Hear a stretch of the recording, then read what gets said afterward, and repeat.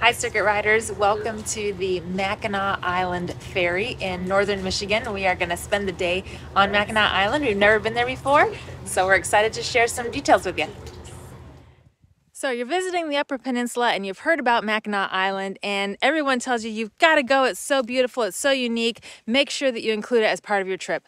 Well, you may have also heard that Mackinac Island can be very expensive. There are tons of things to do here and there are no cars allowed on the island, which means you have only a few ways to get around. So in this video, in in addition to showing you the beautiful island that we're visiting today, I want to talk a little bit about how you can save money when you're visiting Mackinac Island.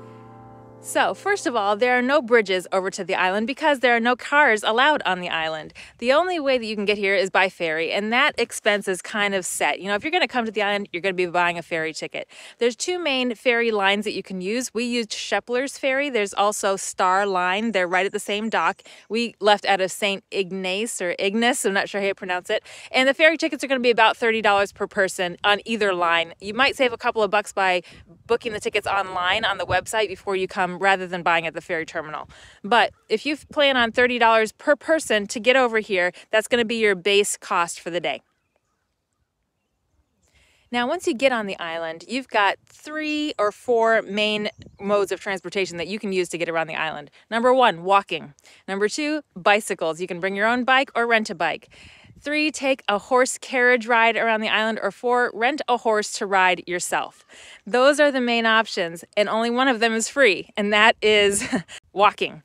We have chosen to walk everywhere today. And to be honest, I always prefer walking to biking because I think you see more, your pace is a little bit slower, you can take your time and really enjoy the nature around you rather than whizzing by on a bike. And biking is difficult for me, I just prefer walking. So we've chosen to do that today, not only because we prefer to walk instead of bike, but because it's free and it's going to save a lot of money on rentals.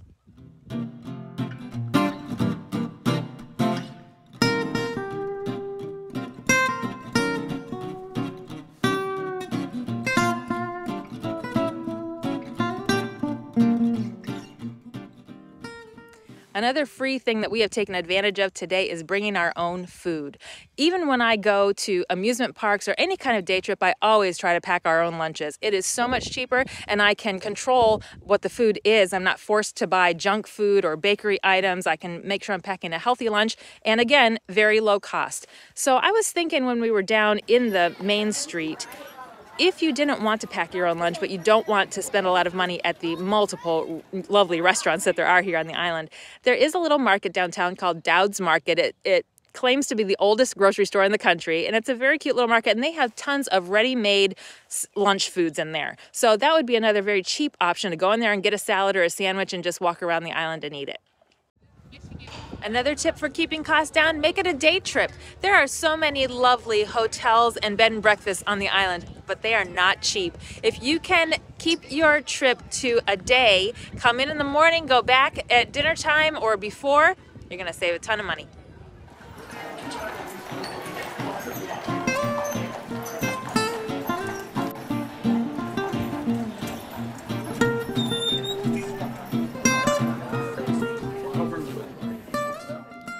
Of the main draws on Mackinac Island is the Grand Hotel. It is the largest summer hotel, I believe, in the world, and also has the longest front porch in the world. So it's really a beautiful tourist destination. However, you do have to pay to get inside.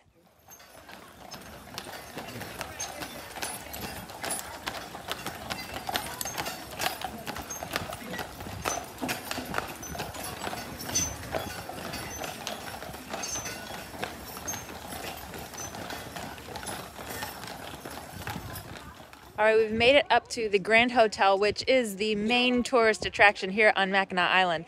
It is a functioning summer hotel. However, you may have heard that in order to go inside the hotel, if you're not a guest, you must pay $10 per person. And this will get you access to the inside of the hotel and all the grounds. So this, where I'm standing, is about as close as you can get without paying. You can come up and see the, the front of the hotel, but you cannot go down onto the lawn and you can't go inside without this ticket. So this is gonna be our one expense today. Besides the ferry tickets, we are gonna pay 20 bucks to go inside the hotel because it's the main thing to see here and I'm sure it's beautiful inside. So we'll just do a little, little splurge to do that, maybe eat our lunch that we brought on the porch.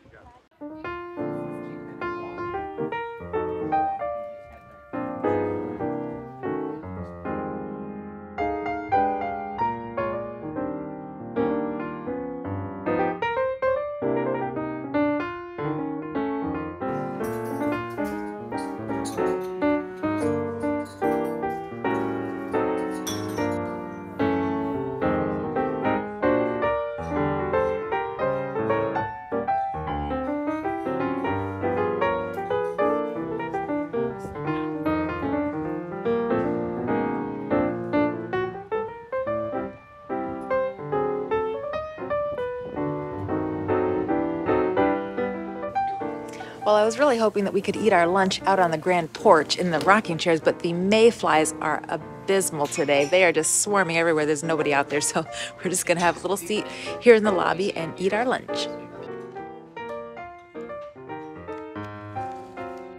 These flies are horrific. It's really bad.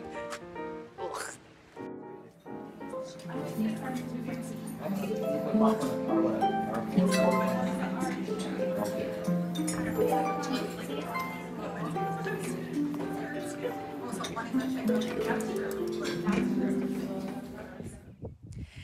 So when I first heard about Mackinac Island from other people and other YouTubers who have been here, I was concerned about the lack of cars because I was picturing in my head Martha's Vineyard and Nantucket. We are from the Northeast of New England and we have a lot of experience with those two islands off the coast of Cape Cod. And they are very large islands. Martha's Vineyard is 87 square miles and it has several distinct towns on it. You really need a car or at least a rental car to get around Martha's Vineyard um, or, you know, rent a scooter or a motorcycle motorcycle or something like that. So I was picturing this in my head and I thought, if I can't have a car on Mackinac, I'm going to be stuck just walking around the little town that's at the ferry dock. I'm not really going to be able to see the island. Well, if I had done my research ahead of time, I would have found out that Mackinac Island is less than four square miles total. And in addition to that, 80% of it is a state park. There's really only 20% of the island right at the ferry dock that is the city portion of Mackinac Island. And um, it is super walkable, very easy to walk. If you get off the ferry at the ferry dock, it's only a 15 minute walk up to the Grand Hotel. From there, you can do another half hour walk across the state park to Arch Rock on the east side of the island. And then the whole northern part of the island is state park. So if you're just here to see touristy things, do some shopping, see the hotel, that kind of thing, it is easily walkable within a few hours. Now, we're taking most of the afternoon. We'll probably be here for, I don't know, five or six hours, just very leisurely walking around and seeing stuff. Now, if you rent a bike, you can bike the whole circuit of the island, which I think is eight miles, and it should take about two to three hours to bike it. So that is also an option. But what we're talking about here is low cost options. So if you're walking, don't be afraid that you won't be able to see everything because it is super walkable and very easy.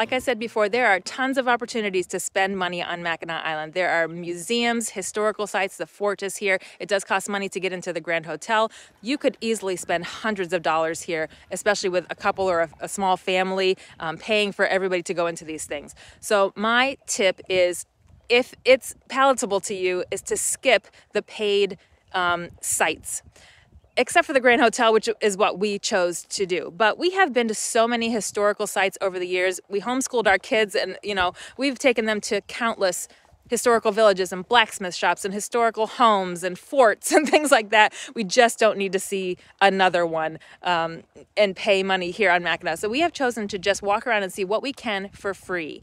Um, and that's fine with us. We we really wanted to come here to experience the island, to see what it was like, and to check it off of our bucket list of the Upper Peninsula, and that that's good enough for us. So if that's your situation and you're trying to save money and you've already done all of these kind of things, or you're not interested in historical museums and stuff, again, the free walking and um, bringing your own food is my best tips for keeping Mackinac low cost.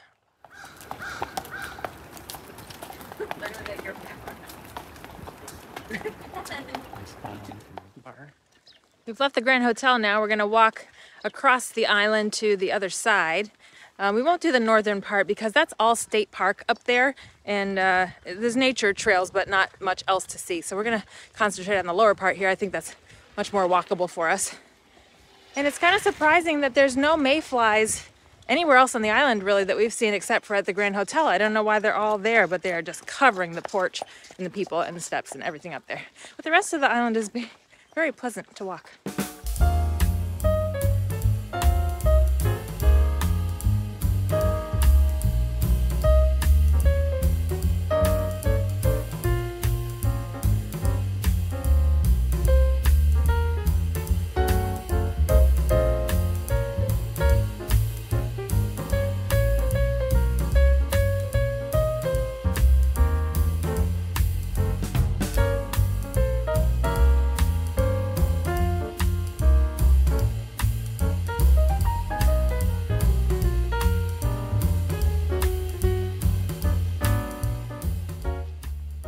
We're leaving the little town part of Mackinac Island now. We're entering the state park.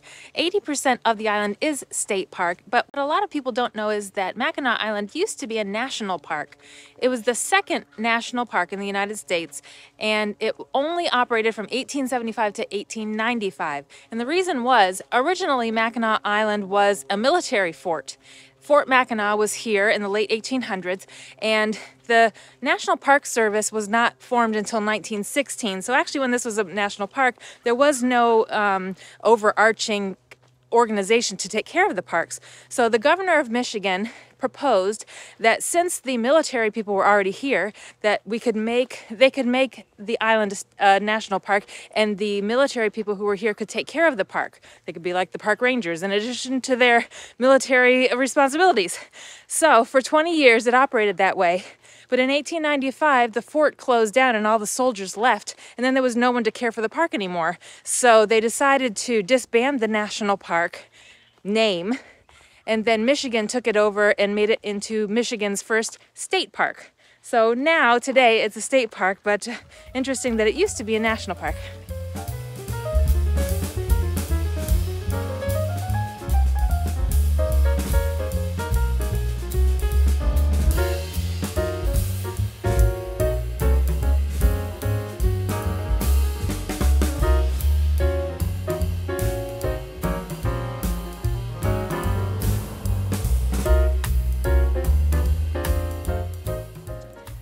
So from the Grand Hotel, we've walked about a half an hour across the state park to the southeastern coast of the island and uh, to beautiful Arch Rock.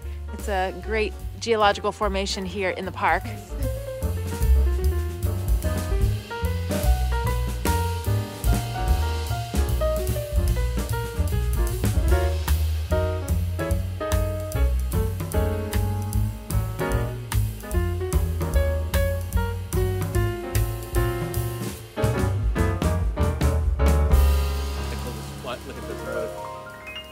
Little disconcerting to be able to walk down the middle of the road, but I don't have to worry about it. It's just a bike path.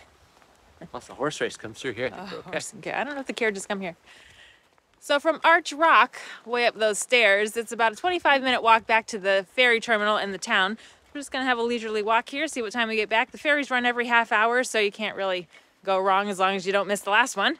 Uh, You might remember when we were in Door County a few episodes ago, we talked about visiting places in the shoulder season and how we really liked how it wasn't overrun with crowds, but the weather was still tolerable and you could um, still see things even if you weren't there in the height of the season. Well, we're finding that today on Mackinac as well. Now, I read that the Mackinac season really starts like around May 1st and it's May 22nd right now, but the weather is still a little cool and cloudy, but everything is essentially open on the island and there are crowds here, but it's not overrun. We don't feel feel like we're we're battling against people today, which is really nice. And when we were walking through the state park, we were often by ourselves. So very very relaxing day.